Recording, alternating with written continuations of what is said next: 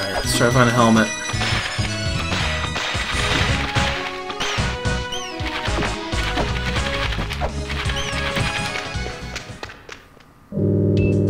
You just want to tell me. One cares, Reaper.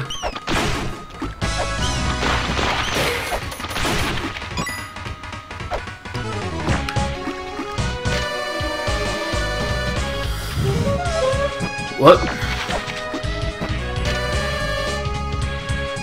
Oh!